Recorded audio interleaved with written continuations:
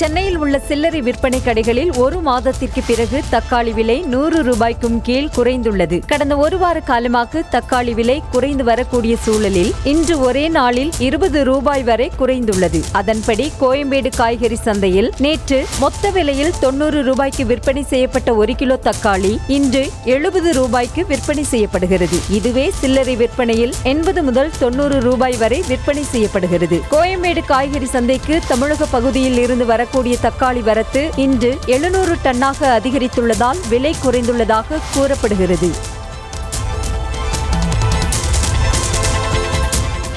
சொத்து குவிப்பு வழக்கிலிருந்து அமைச்சர் பொன்முடியை விடுவித்த தீர்ப்பு தொடர்பாக சென்னை உயர்நீதிமன்றம் தாமாக முன்வந்து விசாரணைக்கு எடுத்துள்ளது. சொத்து குவிப்பு வழக்கில் குற்றம் நிரூபிக்கப்படாததாலும் போதிய ஆதாரம் இல்லாததாலும் அமைச்சர் பொன்முடி மற்றும் அவரது மனைவியை விடுதலை செய்து வேலூர் மாவட்ட முதன்மை அமர்வு நீதிமன்றம் தீர்ப்பளித்திருந்தது. இந்த தீர்ப்பை எதிர்த்து லஞ்ச ஒழிப்புத்துறை மேல்முறையீடு செய்யாததால் சென்னை உயர்நீதிமன்ற நீதிபதி ஆனந்த் வெங்கடேஷ் தாமாக முன்வந்து வழக்கை விசாரணைக்கு எடுத்துள்ளார். இந்த வழக்கு மாலை விசாரணைக்கு வருகிறது.